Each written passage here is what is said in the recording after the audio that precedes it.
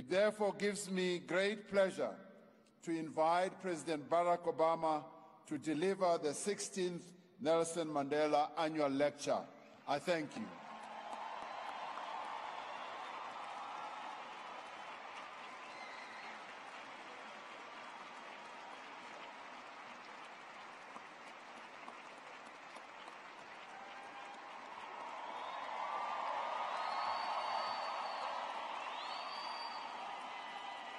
Thank you. Thank you so much. Thank you very much. Thank you. Thank you so much.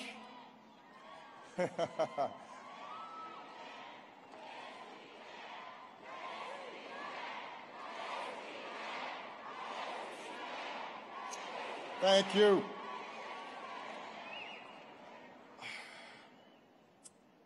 To Mama Graça, Machel, members of the Mandela family, Machel family, to President Ramaphosa, who you can see is inspiring new hope in this great country.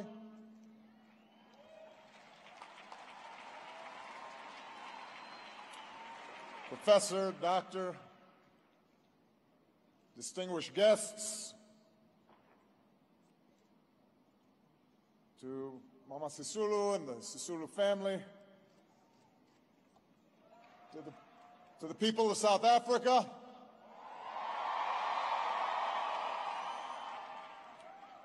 it is a singular honor for me to be here with all of you we gather to celebrate the birth and life of one of history's true giants. Uh, let me begin by a correction and a few confessions. The correction is that I am a very good dancer.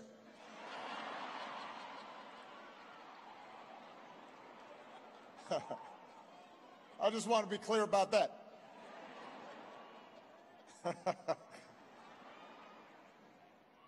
Michelle is a little better. The confessions. Number one, I was not exactly invited to be here. I was ordered in a very nice way to be here by Graça Machel.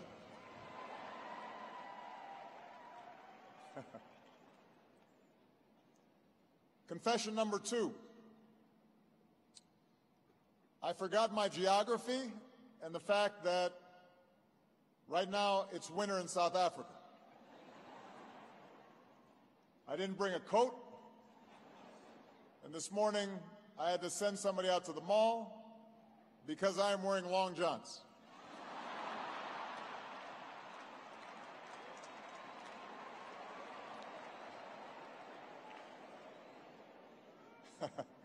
I was born in Hawaii. Confession number three. When my staff told me that I was to deliver a lecture, I thought back to the stuffy old professors in bow ties and tweed, and I wondered if this was one more sign of the stage of life that I'm entering, along with gray hair and slightly failing eyesight. I thought about the fact that my daughters think anything I tell them is a lecture. I thought about the American press and how they often got frustrated at my long-winded answers at press conferences when my uh, responses didn't conform to two minute sound bites. But given the strange and uncertain times that we are in, and they are strange, and they are uncertain.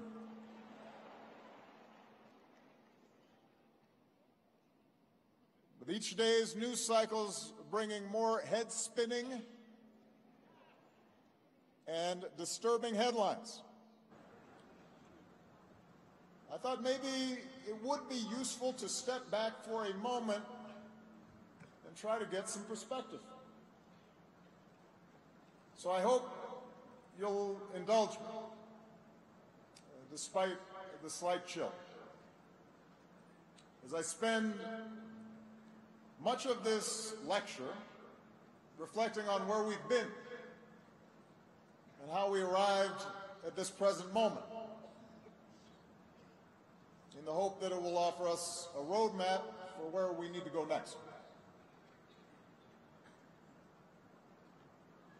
100 years ago, Madiba was born in the village of Mem.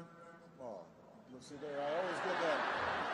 I got to get my, my M's right when I'm in South Africa. Mvezo. I got it. Truthfully, it's because it's so cold, my lips stuck. So in his autobiography, he describes a happy childhood. He's looking after cattle, he's playing with the other boys. Eventually attends a school where his teacher gave him the English name Nelson. And as many of you know, he's quoted saying, why she bestowed this particular name upon me, I have no idea. There was no reason to believe that a young black boy at this time, in this place, could in any way alter history. After all, South Africa was then less than a decade removed from full British control. Already laws were being codified to implement racial segregation and subjugation, the network of laws that would be known as apartheid. Most of Africa, including my father's homeland, was under colonial rule. The dominant European powers having ended a horrific world war just a few months after Madiba's birth,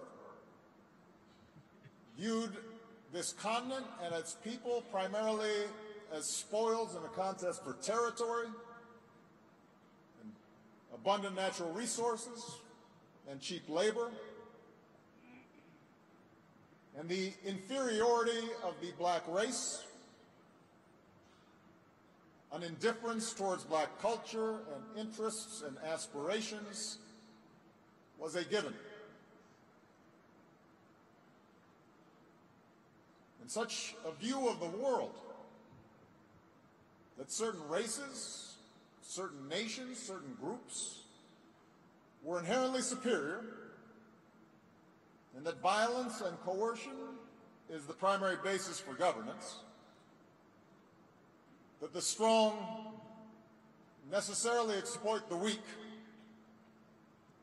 that wealth is determined primarily by conquest, that view of the world was hardly confined to relations between Europe and Africa, or relations between whites and blacks, Whites were happy to exploit other whites when they could. And by the way, blacks were often willing to exploit other blacks. And around the globe, the majority of people lived at subsistence levels without a say in the politics or economic forces that determined their lives. Often they were subject to the whims and cruelties of distant leaders. The average person saw no possibility of advancing from the circumstances of their birth. Women were almost uniformly subordinate to men. Privilege and status was rigidly bound by caste and color and ethnicity and religion. And even in my own country, even in democracies like the United States, founded on a declaration that all men are created equal. Racial segregation and systemic discrimination was the law in almost half the country and the norm throughout the rest of the country. That was the world just 100 years ago. There are people alive today who were alive in that world. It is hard then to overstate the remarkable transformations that have taken place since that time. A second world war, even more terrible than the first, along with a cascade of liberation movements from Africa to Asia, Latin America, the Middle East, would finally bring an end to colonial rule. More and more peoples, having witnessed the horrors of totalitarianism, the repeated mass slaughters of the 20th century, began to embrace a new vision for humanity, a new idea one based not only on the principle of national self-determination, but also on the principles of democracy and rule of law and civil rights and the inherent dignity of every single individual. In those nations with market-based economies, suddenly union movements developed. And health and safety and commercial regulations were instituted, and access to public education was expanded, and social welfare systems emerged, all with the aim of constraining the excesses of capitalism and enhancing its ability to provide opportunity not just to some, but to all people. And the result was unmatched economic growth and a growth of a middle class. And in my own country, the moral force of the civil rights movement not only overthrew Jim Crow laws, but it opened up the floodgates for women and historically marginalized groups to reimagine themselves, to find their own voices, to make their own claims to full citizenship.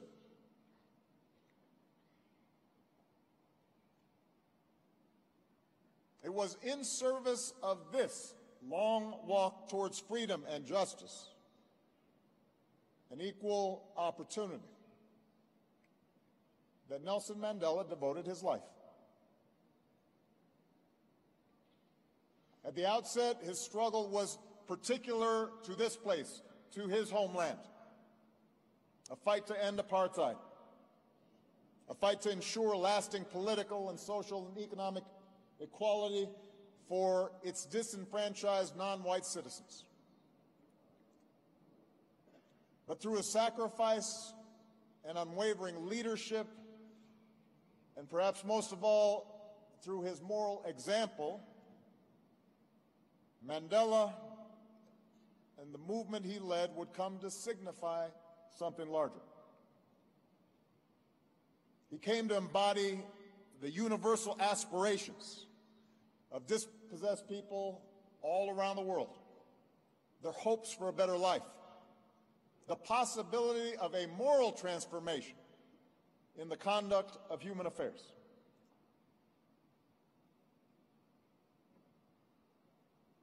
Madiba's light shone so brightly, even from that narrow Robben Island cell,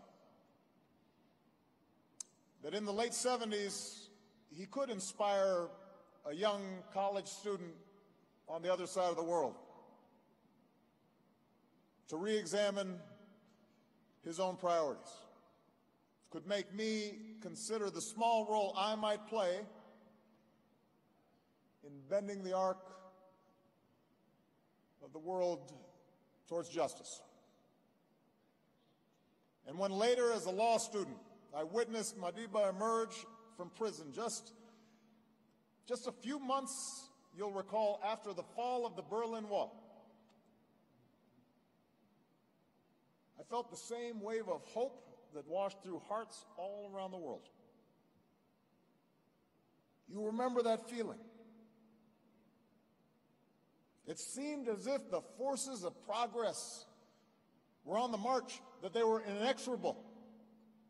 Each step he took, you felt this is the moment when the old structures of violence and repression and ancient hatreds that had so long stunted people's lives and confined the human spirit that all that was crumbling before our eyes. And then, as Madiba guided this nation through negotiation, painstakingly, reconciliation, its first fair and free elections, as we all witnessed the grace and the generosity with which he embraced former enemies, the wisdom for him to step away from power once he felt his job was complete.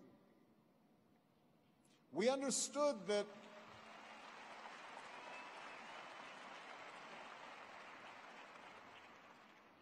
We understood it was not just the subjugated, the oppressed who were being freed from the shackles of the past. The subjugator was being offered a gift, being given a chance to see in a new way, being given a chance to participate in the work of building a better world.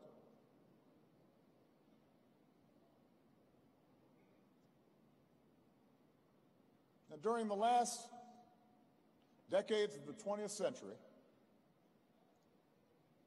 the progressive democratic vision that Nelson Mandela represented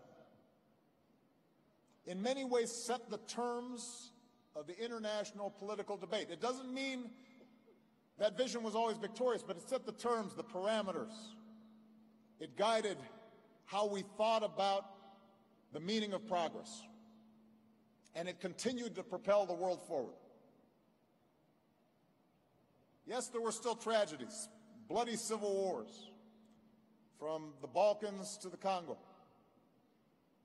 Despite the fact that ethnic and, and sectarian strife still flared up with heartbreaking regularity. Despite all that, as a consequence of the continuation of nuclear detente a peaceful and prosperous Japan and a unified Europe anchored in NATO, and the entry of China into the world system of trade, all that greatly reduced the prospect of war between the world's great powers. And from Europe to Africa, Latin America, Southeast Asia, dictatorships began to give way to democracies. The march was on. A respect for human rights and the rule of law, enumerated in a declaration by the United Nations, became the guiding norm for the majority of nations. Even in places where the reality fell far short of the ideal. Even when those human rights were violated, those who violated human rights were on the defensive. And with these geopolitical changes came sweeping economic changes. The introduction of market-based principles in which previously closed economies, along with the forces of global integration powered by new technologies, suddenly unleashed entrepreneurial ta talents to those that once had been relegated to the periphery of the world economy, who hadn't counted. Suddenly they counted. They had some power. They had the possibilities of doing business. And, and then came scientific breakthroughs and new infrastructure and the reduction of armed conflicts. And suddenly, a billion people were lifted out of poverty. And once starving nations were able to feed themselves. And, and infant mortality rates plummeted. And meanwhile, the spread of the internet made it possible for people to connect across oceans. and cultures and continents instantly were brought together and potentially all the world's knowledge could be in the hands of a small child in even the most remote village. That's what happened just over the course of a few decades. And all that progress is real. It has been broad and it has been deep. And it all happened in what, by the standards of human history, was nothing more than a blink of an eye. And now an entire generation has grown up in a world that, by most measures, has gotten steadily freer and healthier and wealthier and less violent and more tolerant during the course of their lifetimes.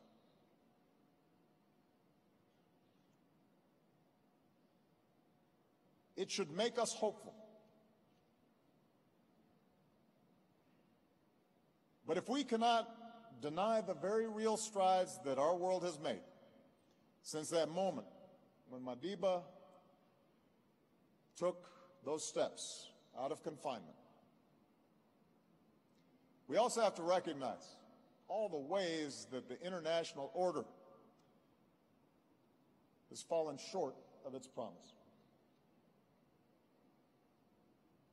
In fact, it is in part because of the failures of governments and powerful elites to squarely address the shortcomings and contradictions of this international order that we now see much of the world threatening to return to an older, a more dangerous, a more brutal way of doing business.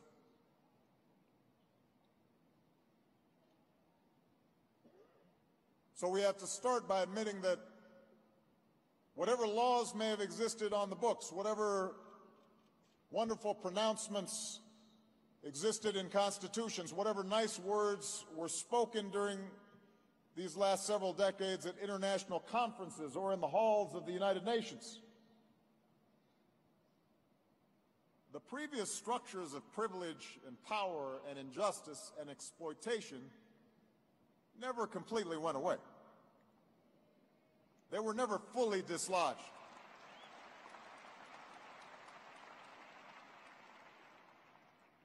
Caste differences still impact the life chances of people in the Indian subcontinent. Ethnic and religious differences still determine who gets opportunity from Central Europe to the Gulf.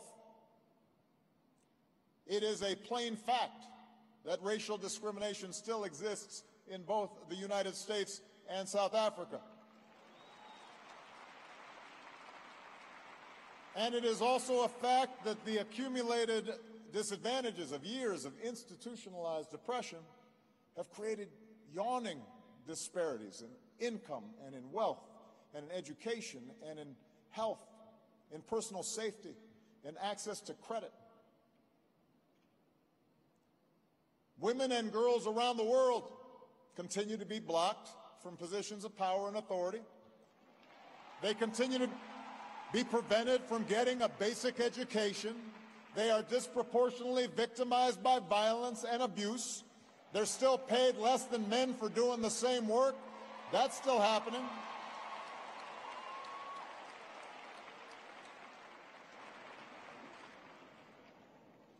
Economic opportunity for all the magnificence of the global economy, all the shining skyscrapers that have transformed the landscape around the world. Entire neighborhoods, entire cities, entire regions, entire nations have been bypassed. In other words, for far too many people, the more things have changed,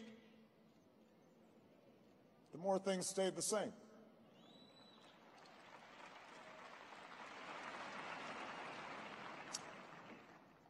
And while globalization and technology have opened up new opportunities, have driven remarkable economic growth, in previously struggling parts of the world. Globalization has also upended the agricultural and manufacturing sectors in many countries. Has also greatly reduced the demand for certain workers. Has helped weaken unions and laborers' bargaining power. It's made it easier for capital to avoid tax laws and the regulations of nation states can just move billions, trillions of dollars with a tap of a computer key.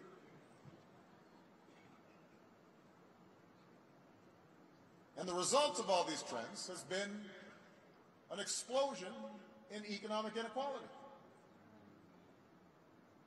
It's meant that a few dozen individuals control the same amount of wealth as the poorest half of humanity. That's not an exaggeration, that's a statistic. Think about that.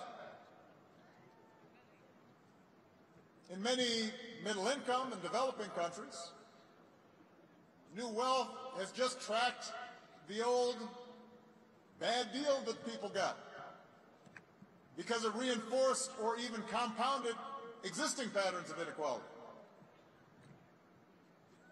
The only difference is it created even greater opportunities for corruption on an epic scale.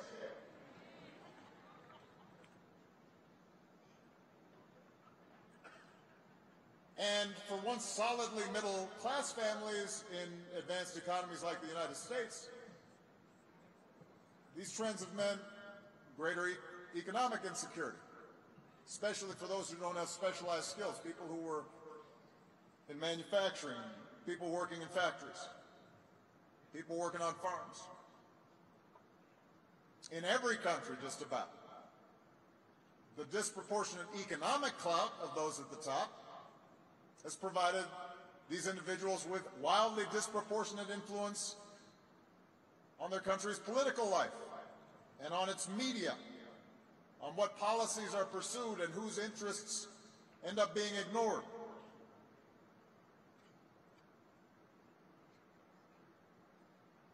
Now, it should be noted that this new international elite, the professional class that supports them, differs in important respects from the ruling aristocracies of old. It includes many who are self-made.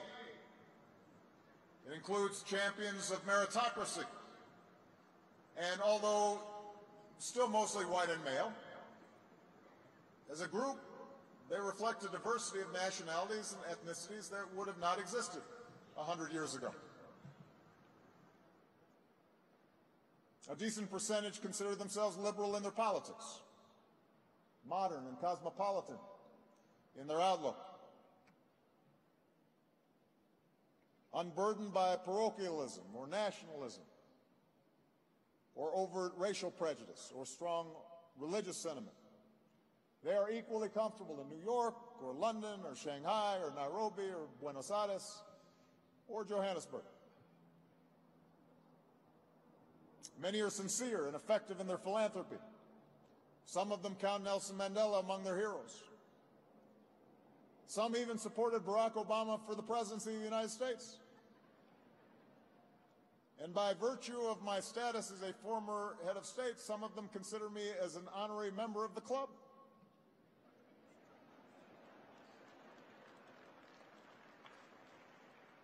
You know, I get invited to these fancy things, you know.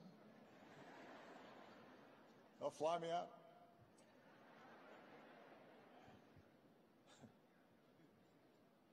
But what's nevertheless true is that in their business dealings, many titans of industry and finance are increasingly detached from any single locale or nation state. They live lives more and more insulated from the struggles of ordinary people in their countries of origin. And their decisions, their decisions to shut down a manufacturing plant or to try to minimize their tax bill by shifting profits to a tax haven with the help of high-priced accountants or lawyers, or their decision to take advantage of lower cost immigrant labor, or their decision to pay a bribe are often done without malice. It's just a rational response they consider to the demands of their balance sheets and their shareholders and competitive pressures.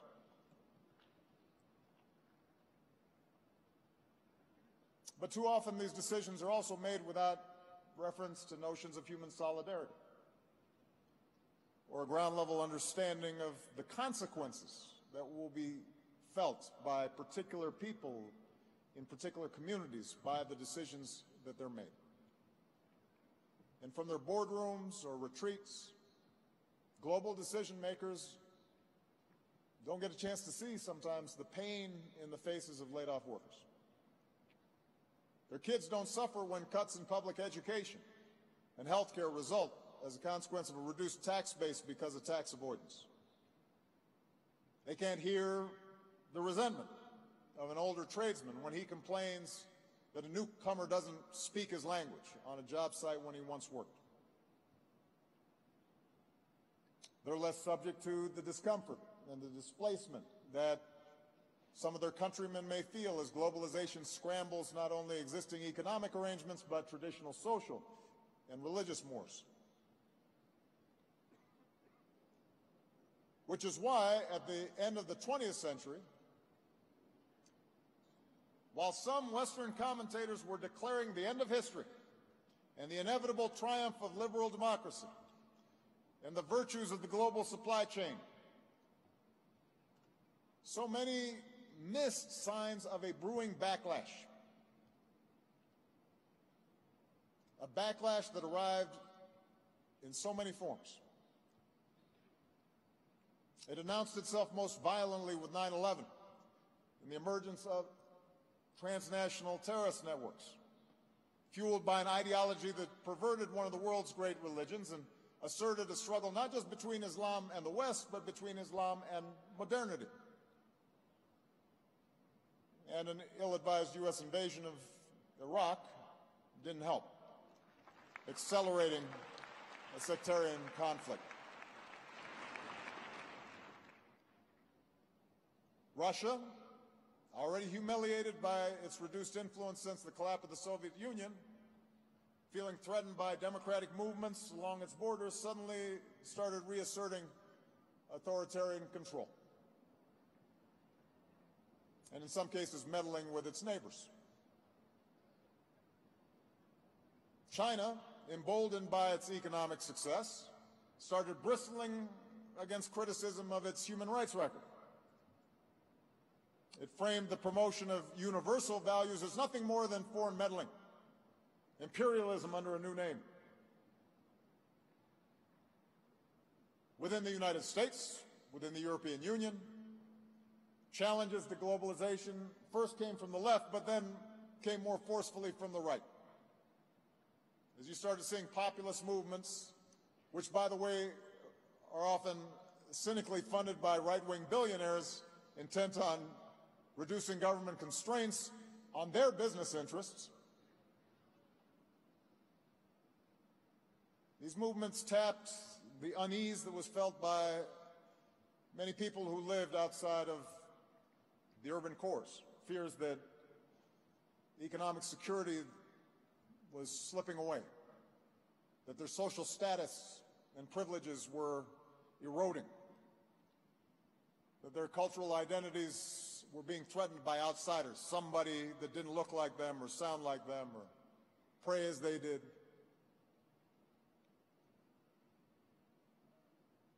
And perhaps more than anything else, the devastating impact of the 2008 financial crisis, in which the reckless behavior of financial elites resulted in years of hardship for ordinary people all around the world made all the previous assurances of experts ring hollow. All, all those assurances that somehow financial regulators knew what they were doing, that somebody was minding the store, that global economic integration was an unadulterated good.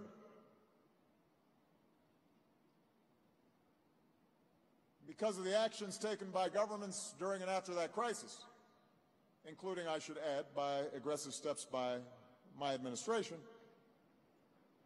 the global economy has now returned to healthy growth. But the credibility of the international system, the faith in experts in places like Washington or Brussels, all that had taken a blow.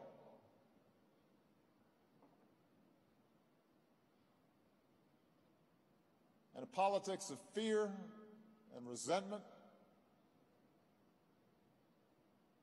and retrenchment began to appear. And that kind of politics is now on the move. It's on a move at a pace that would have seemed unimaginable just a few years ago. I am not being alarmist, I am simply stating the facts. Look around. Strongman politics are ascendant suddenly, whereby elections and some pretense of democracy are maintained, the form of it, but those in power seek to undermine every institution or norm that gives democracy meaning.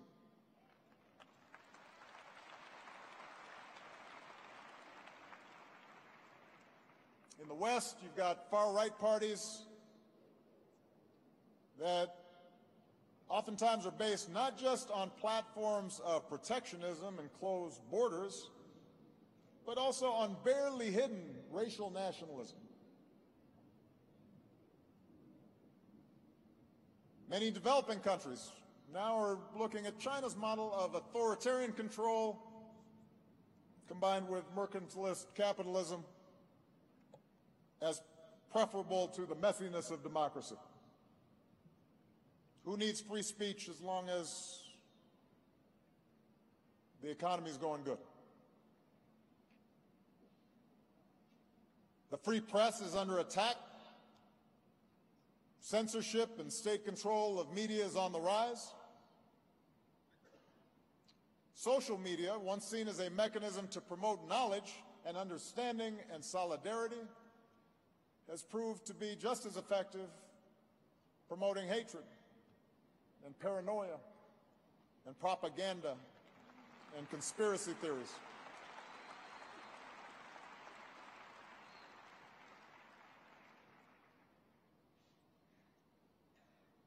So, on Madiba's 100th birthday, we now stand at a crossroads. A moment in time at which two very different visions of humanity's future compete for the hearts and the minds of citizens around the world. Two different stories, two different narratives about who we are and who we should be.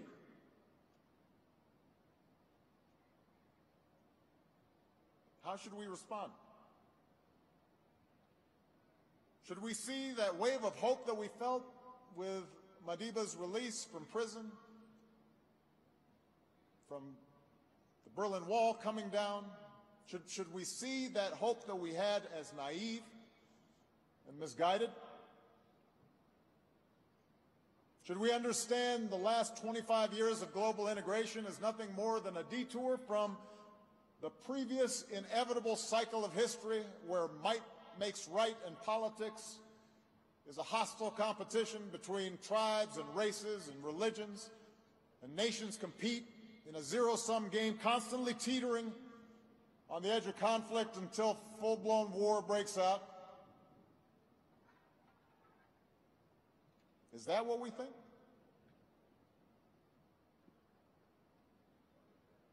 Let me tell you what I believe. I believe in Nelson Mandela's vision. I believe in a vision shared by Gandhi and King and Abraham Lincoln.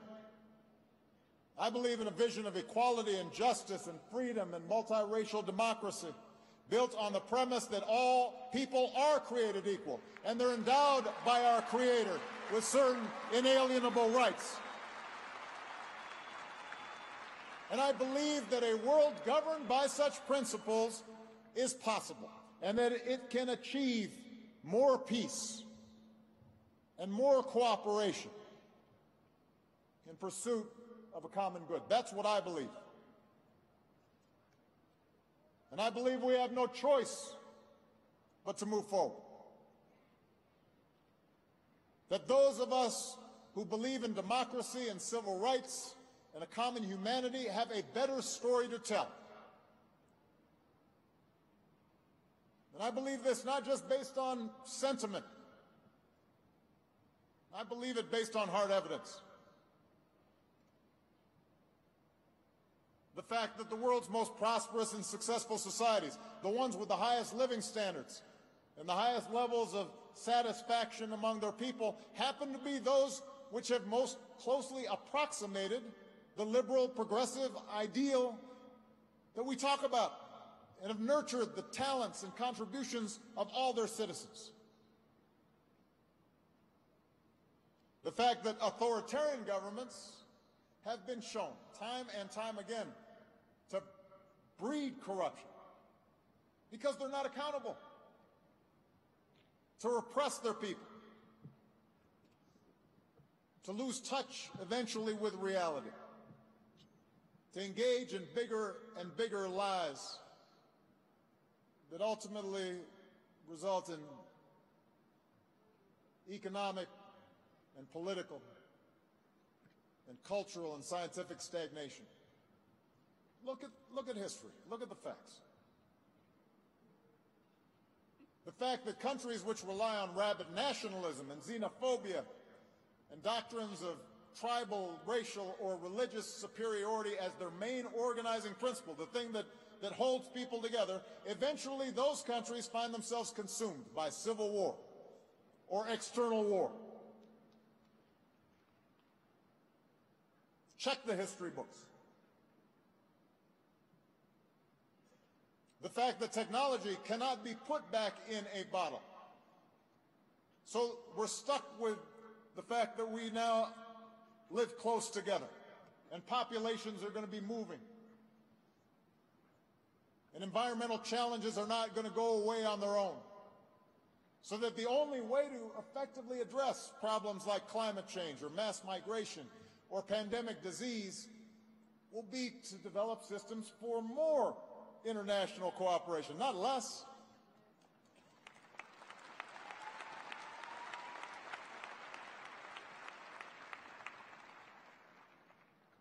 We have a better story to tell.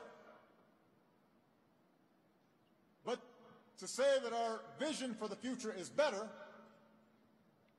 is not to say that it will inevitably win. Because history also shows the power of fear. History shows the lasting hold of greed and the desire to dominate others in the minds of men especially men. History shows how easily people can be convinced to turn on those who look different or worship God in a different way. So if we're truly to continue Madiba's long walk towards freedom, we're going to have to work harder. We're going to have to be smarter. We're going to have to learn from the mistakes of the recent past. And so, in the brief time remaining, let me just suggest a few guideposts for the road ahead. Guideposts that draw from Madiba's work, his words, the lessons of his life. First, Madiba shows those of us who believe in freedom and democracy we are going to have to fight harder to reduce inequality and promote lasting economic opportunity for all people. Now, I don't believe in economic determinism. I, I, human beings don't live on bread alone. But they need bread. And history shows that societies which tolerate vast differences in wealth feed resentments and reduce solidarity and actually grow more slowly. And that once people achieve more than mere subsistence, then they're measuring their well-being by how they compare to their neighbors and whether their children can expect to live a better life. And when economic power is concentrated in the hands of the few,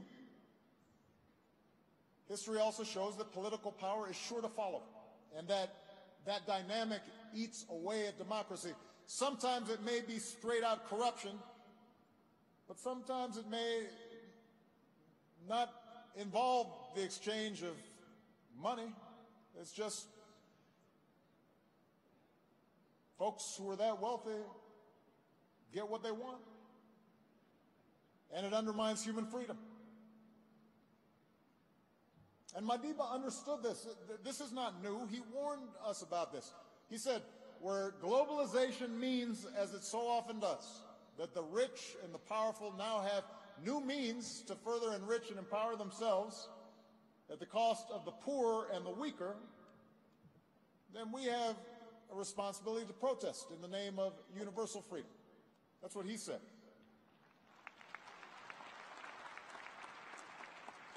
So if we are serious about universal freedom today, if we care about social justice today, then we have a responsibility to do something about it. And, and, I would respectfully amend what Madiba said. I don't do it often, but I'd say it's not enough for us to protest. We're going to have to build.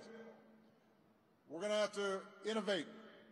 We're going to have to figure out how do we close this widening chasm of wealth and opportunity, both within countries and between them.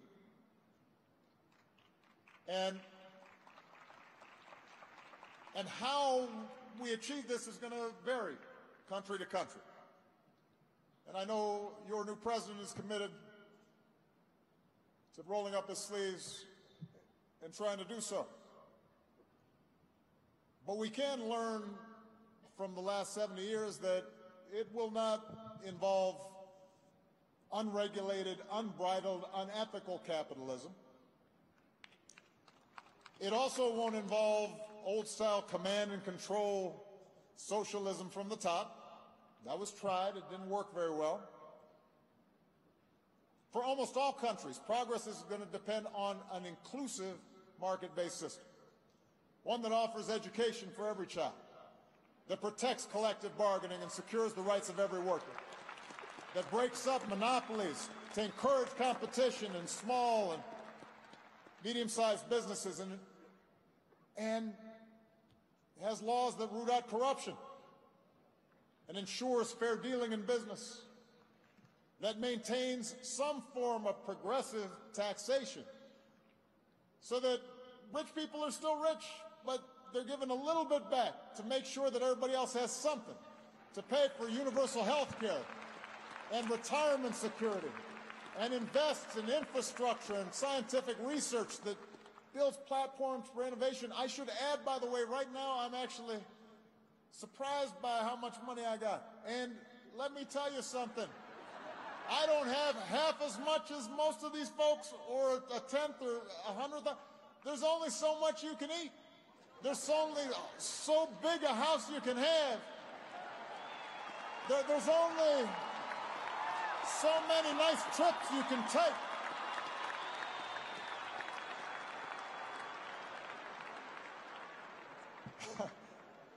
I mean, it's enough. You, you, you don't have to, to, to take a vow of poverty just to say, well, let me help out a, lot, a few of the other folks.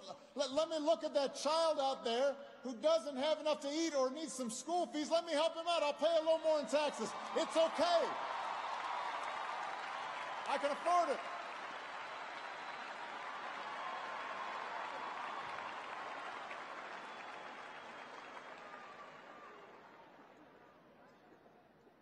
Mean, it, it shows a poverty of ambition to just want to take more and more and more. Instead of saying, wow, I've got so much, who can I help? How can I give more and more and more? That's ambition. That's impact. That's influence. What, what, a, what a, an amazing gift to be able to help people, not just yourself. Where was I? I ad libbed.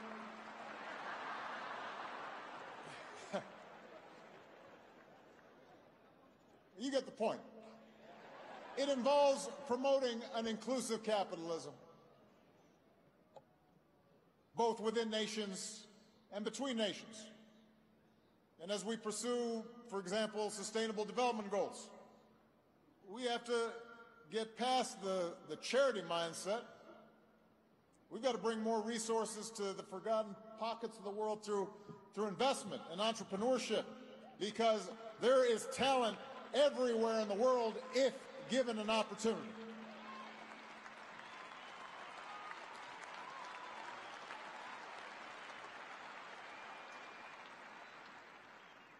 When it comes to the international system of commerce and trade, it's legitimate for poorer countries to continue to seek access to wealthier markets. And by the way, wealthier markets, that's not the big problem that you're having. The, the, a small African country is, is sending you tea and flowers. That's not your biggest economic challenge. It's also proper for advanced economies like the United States to insist on reciprocity from nations like China that are no longer solely poor countries to make sure that they're providing access to their markets and that they stop taking intellectual property and hacking our servers. But, but even as, as there are discussions to be had around trade and commerce, it's important to recognize this reality.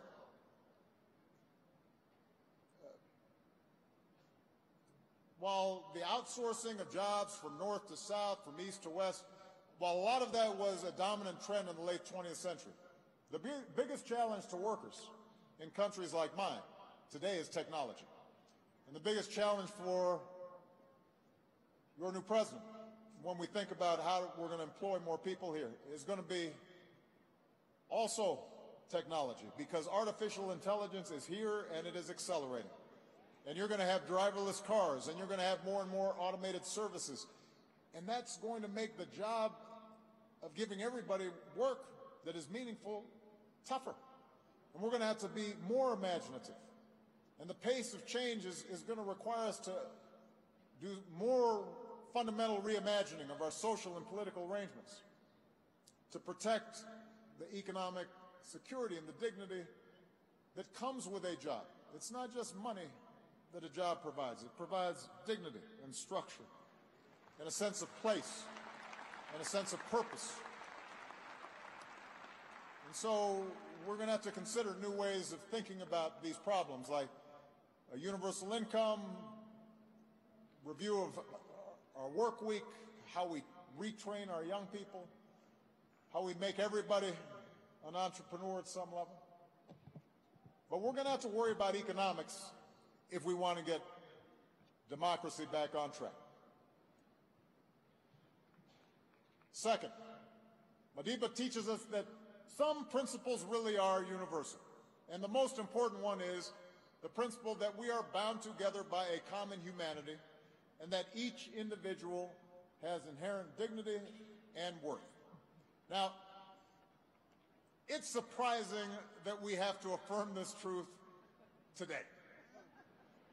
More than a quarter century after Madiba walked out of prison, I still have to stand here at a lecture and devote some time to saying that black people and white people and Asian people and Latin American people and women and men and, and, and, gays and straights, that we are all human, that our differences are superficial, and that we should treat each other with care and respect. I would have thought we would have figured that out by now. I thought that basic notion was well established. But it turns out, as we're seeing in this recent drift into reactionary politics, that the struggle for basic justice is never truly finished. So we've got to constantly be on the lookout and fight for people who seek to elevate themselves by putting somebody else down. And by the way, we also have to actively resist. This is important, particularly in, in some countries in Africa, like my own, uh, father's homeland. I, I, some, I've made this point before. We have to resist the notion that basic human rights like freedom to dissent or the right of, of women to fully participate in the society or, or the rights of minorities to equal treatment or the rights of uh, people not to be beat up and jailed because of their sexual orientation. We have to be careful not to say that somehow, well, that doesn't apply to us. That those are Western ideas rather than universal imperatives.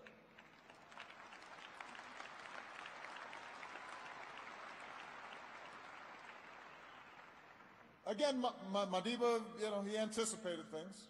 He knew what he was talking about.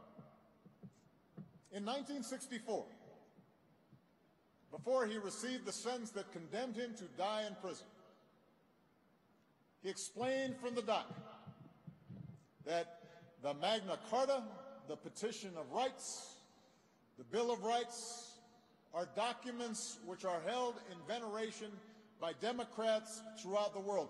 In other words, he didn't say, well, those folks weren't written by South Africans, so I guess I can't claim them. No, he said that's part of my inheritance.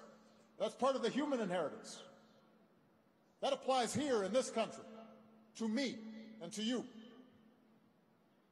And that's part of what gave him the moral authority that the apartheid regime could never claim. Because he was more familiar with their best values than they were. He had read their documents more carefully than they had. And he went on to say political division based on color is entirely artificial. And when it disappears, so will the domination of one color group by another. That's Nelson Mandela speaking in 1964 when I was three years old.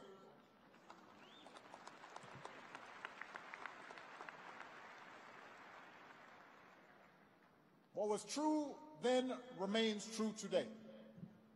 Basic truths do not change.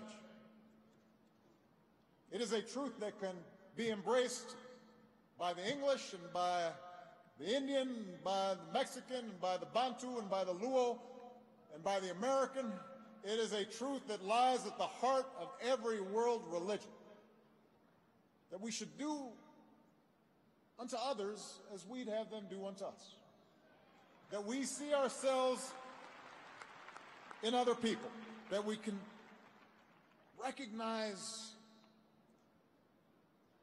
common hopes and common dreams. And it is a truth that is incompatible with any form of discrimination based on race or religion or gender or sexual orientation. And it is a truth that, by the way, when embraced, actually delivers practical benefits since it ensures that a society can draw upon the talents and energy and skill of all its people. And if you doubt that, just ask the French football team that just won the World Cup. Because not all of those folks, not all of those folks look like Gauls to me, but they're French. They're French.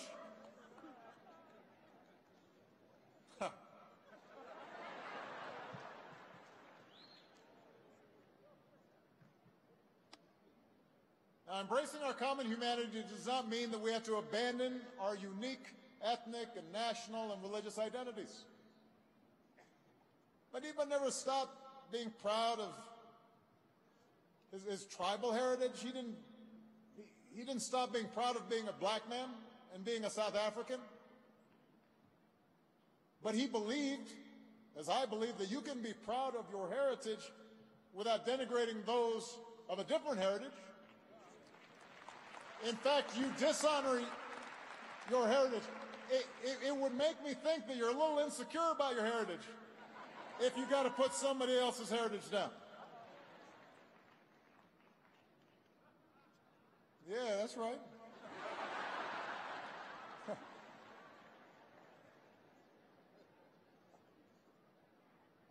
Don't you get a sense sometimes, by, again, I'm, I'm ad libbing here, that, that, that these people who are, are so intent on, on putting people down and, and puffing themselves up that they're small hearted. That, that, that, that there's, uh, there's something, something they're just afraid of.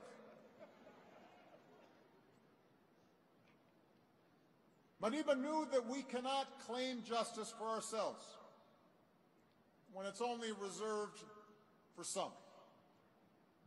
Madiba understood that we can't say we've got a just society simply because we replaced the color of the person on top of an unjust system.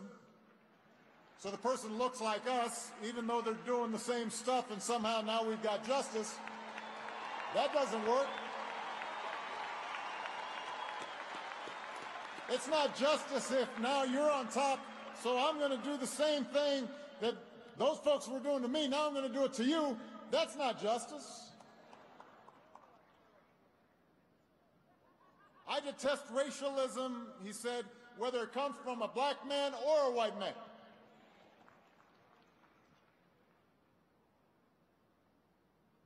Now we have to acknowledge that there is disorientation that comes from rapid change and modernization and the fact that the world has, has shrunk. And we're going to have to find ways to lessen the fears of those who feel threatened. In the West current debate around immigration, for example, it's not wrong to insist that national borders matter. That's, you know, whether you're a citizen or not is going to matter to a government, that laws need to be followed, that in the public realm, newcomers should make an effort to adapt to the language and customs of their new home. Those are legitimate things. And we have to be able to engage people who, who do feel as if things are not orderly. But that can't be an excuse for immigration policies based on race or ethnicity or religion. There's got to be some consistency. And we can enforce the law while respecting the essential humanity of those who are striving for a better life. For a mother with a child in her arms, we can recognize that could be somebody in our family. That could be my child. Third, Madiba reminds us that democracy is about more than just elections. You know, when he was freed from prison, Madiba's popularity, well, you couldn't even measure. He could have been president for life. Am I wrong? Who was going to run against him?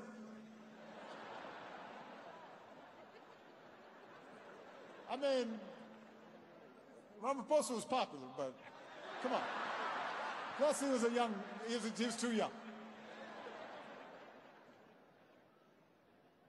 Had he chose, Madiba could have governed by executive fiat, unconstrained by checks and balances. But instead, he helped guide South Africa through the drafting of a new constitution, drawing from all the institutional practices and democratic ideals that had proven to be most sturdy, mindful of the fact that no single individual possesses a monopoly on wisdom. No individual not Mandela, not Obama, are entirely immune to the corrupting influences of absolute power if you, if, if, if you can do whatever you want. And everyone's too afraid to tell you when you're making a mistake.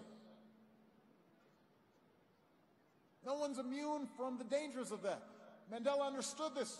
He said democracy is based on the majority principle.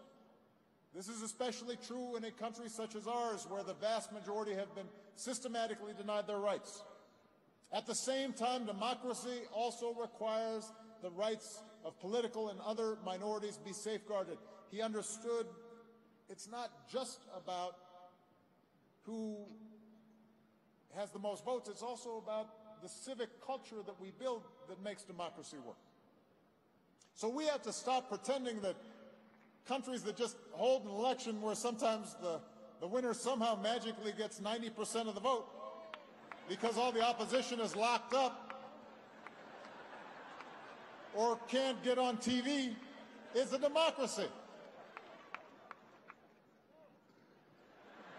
Democracy depends on strong institutions, and it's about min minority rights and checks and balances and freedom of speech and freedom of expression and a free press and the right to protest and petition the government and an independent judiciary and everybody having to follow the law.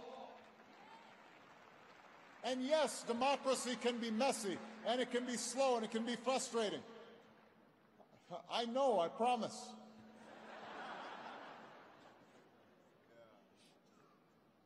But the efficiency that's offered by an autocrat, that's a false promise. Don't take that one.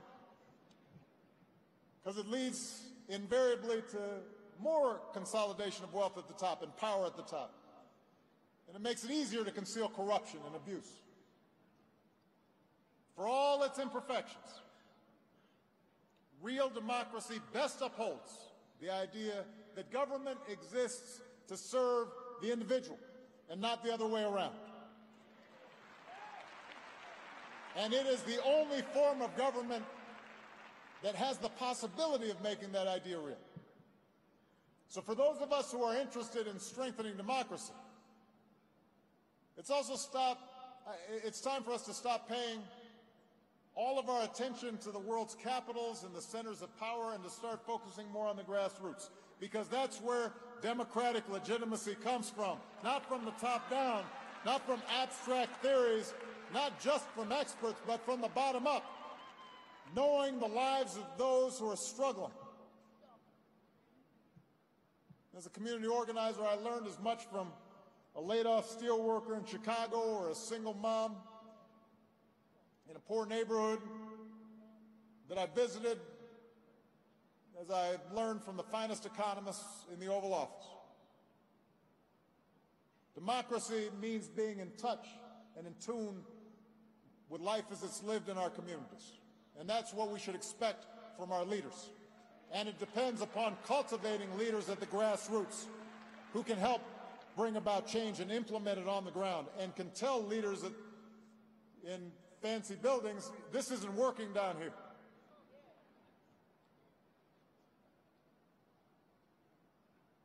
And to make democracy work, Madiba shows us that we also have to keep teaching our children and ourselves, and this is really hard, to engage with people not only who look different, but who hold different views.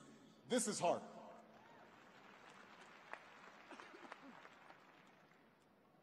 Most of us prefer to surround ourselves with opinions that validate what we already believe. You notice the people who you think are smart are the people who agree with you. Funny how that works. but democracy demands that we're able also to get inside the reality of people who are different than us so we can understand their point of view. Maybe we can change their minds, but maybe they'll change ours. And you can't do this if you just out of hand disregard what your opponents have to say from the start. And you can't do it if you insist that those who aren't like you, because they're white or because they're male, that somehow there's no way they can understand what I'm feeling, that somehow they lack standing to speak on certain matters. Uh, Madiba, he lived this complexity. In prison, he studied Afrikaans so that he could better understand the people who were jailing him. And when he got out of prison, he extended a hand to those who had jailed him because he knew that they had to be a part of the democratic South Africa that he wanted to build. To make peace with an enemy, he wrote, one must work with that enemy, and that enemy becomes one's partner. So those who traffic in absolutes when it comes to policy, whether it's on the left or the right, they, they make democracy unworkable. You can't expect to get 100% of what you want all the time. Sometimes you have to compromise. That doesn't mean abandoning your principles, but instead it means holding on to those principles and then having the confidence that they're going to stand up to a serious democratic debate. That's how America's founders intended our system to work. That through the testing of ideas and the application of reason and proof, it would be possible to arrive at a basis for common ground. And I should add, for this to work, we have to actually believe in an objective reality. This is another one of these things that I didn't think I had to lecture about. You have to believe in facts. Without facts, there's no basis for cooperation. If I say this is a podium and you say this is an elephant, it's going to be hard for us to cooperate. I can find common ground for those who oppose the Paris Accords. Because, for example, they, they might say, well, it's, it's not going to work. You can't get everybody to cooperate. Or, or they might say, it's more important for us to provide cheap energy for the poor, even if it means in the short term that there's more pollution. I, at least I can have a debate with them about that. And I can show them why I think clean energy is the better path, especially for poor countries, that you can leapfrog old technologies. I can't find common ground if somebody says climate change is just not happening when almost all the world's scientists tell us it is. I don't know where to start talking to you about this. If you start saying it's an elaborate hoax, I don't know what to. Where do we start?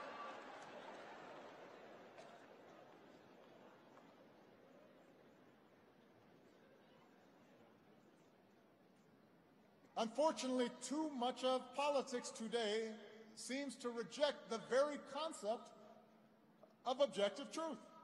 People just make stuff up. They, they just make stuff up. We see it in the growth of state-sponsored propaganda.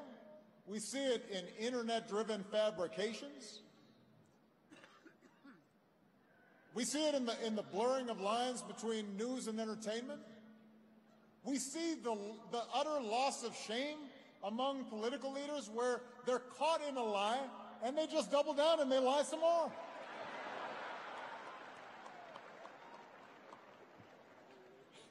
It used to, look, let me say, politicians have always lied. But it used to be if you caught them lying, they'd be like, oh man. Now they just keep on lying. They, they just,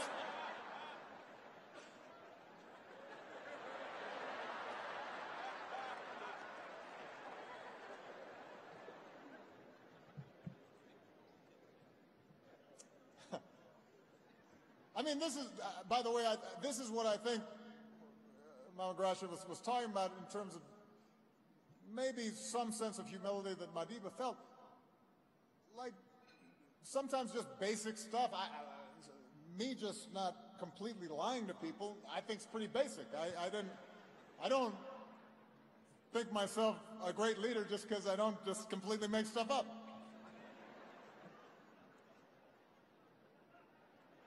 I mean, you, you, you thought, you'd think that was kind of just a baseline.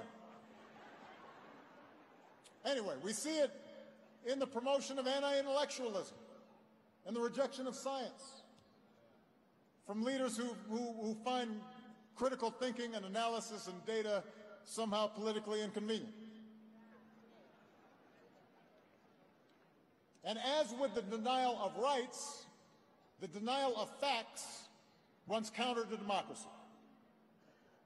It could be its undoing, which is why we have to zealously protect independent media.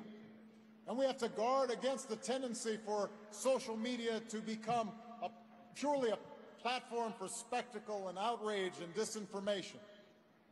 And we have to insist that our schools teach critical thinking to our young people, not just blind obedience.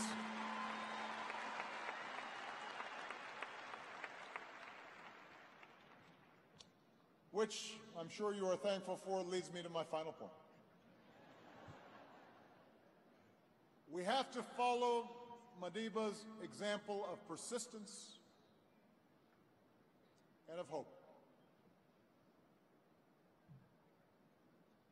It's tempting right now to give in to cynicism, to believe that recent shifts in global politics are too powerful to push back, that the, the pendulum has swung permanently.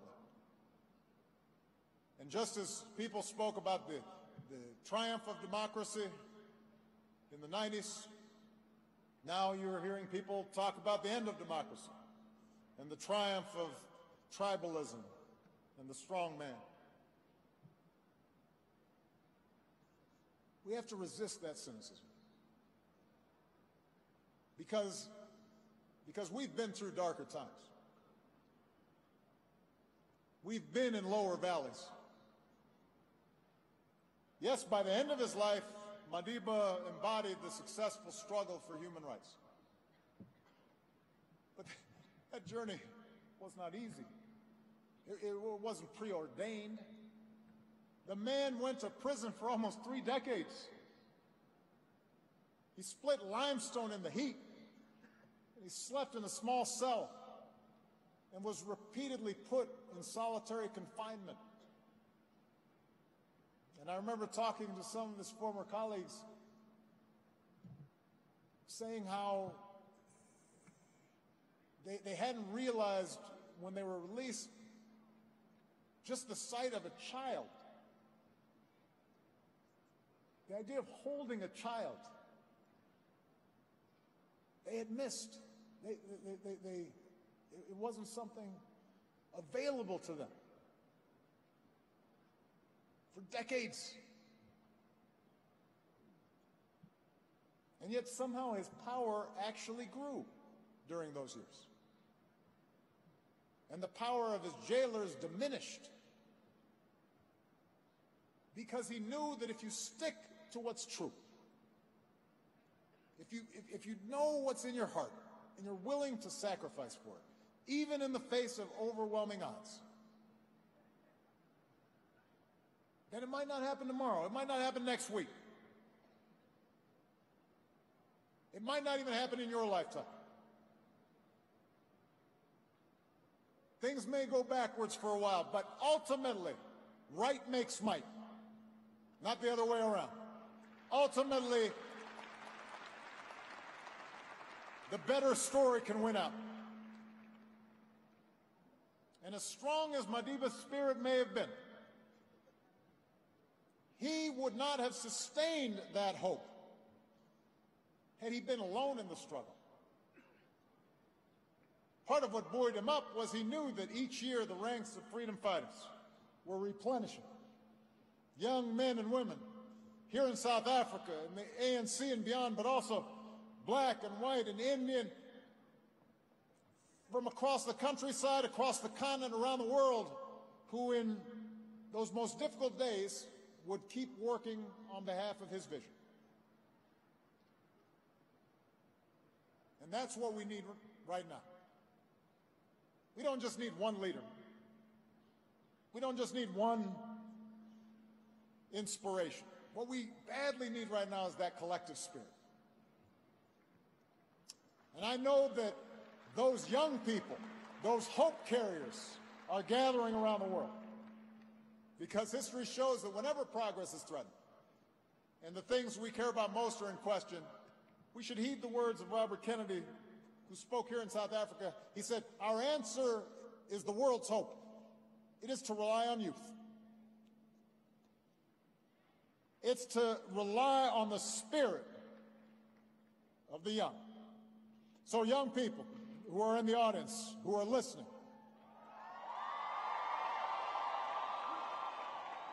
my message to you is simple. Keep believing, keep marching, keep building, keep raising your voice. Every generation has the opportunity to remake the world.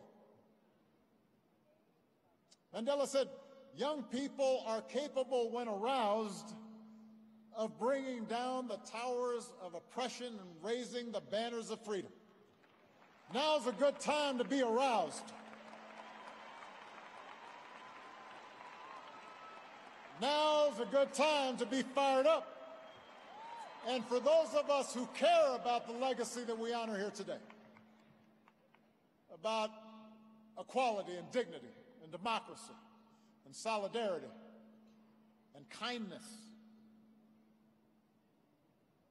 those of us who remain young at heart, if not in body, we have an obligation to help our youth succeed.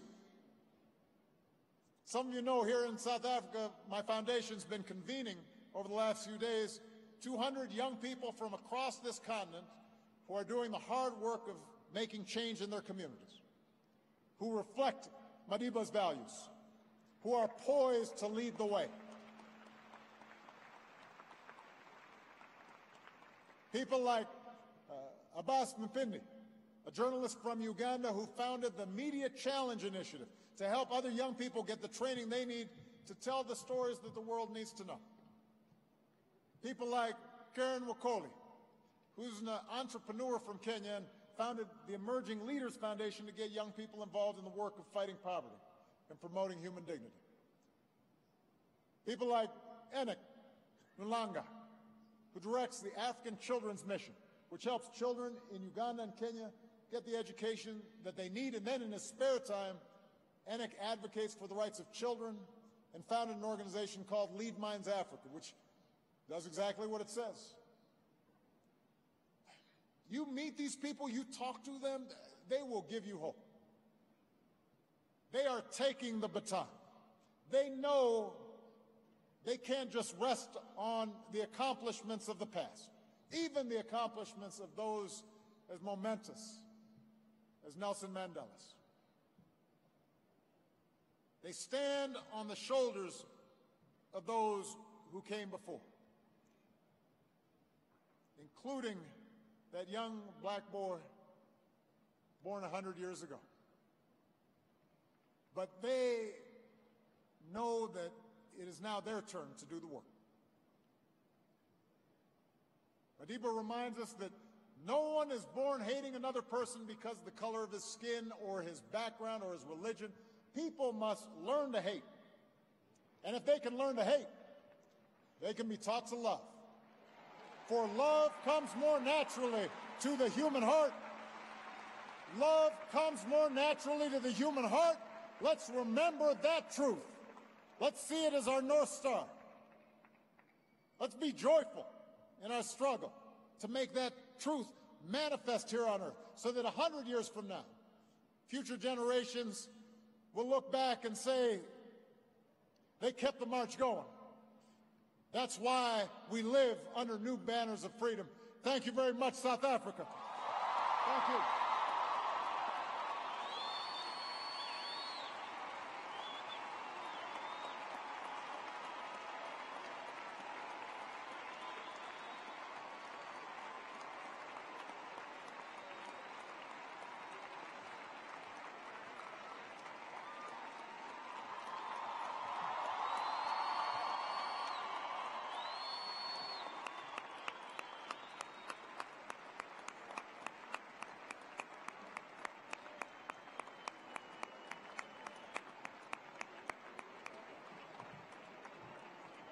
Ladies and gentlemen, if we could have our seats.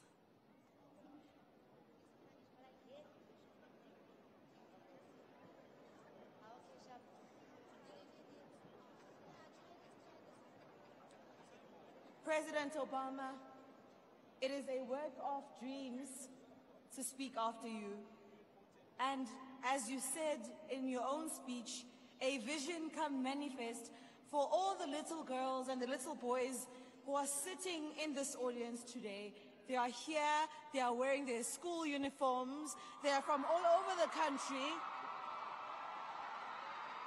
And they have solely come to hear from you what it is that they can do to make the world that you dream of a possibility.